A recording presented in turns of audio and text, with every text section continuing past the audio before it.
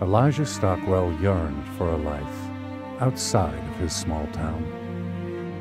In a time of civil war, his wish was about to come true. Men, defending the Union is a just cause. Wait, son! To fight, you have to be 18 unless your parents agree.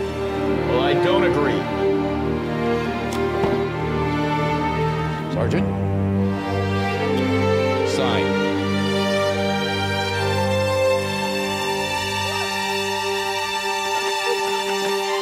Hey, get your hands off her!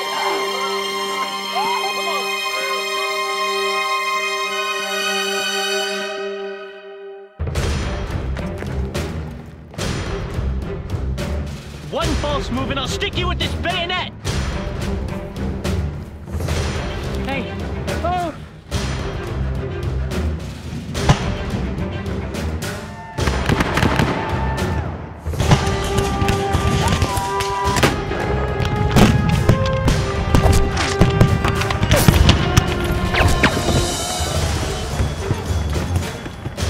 Good.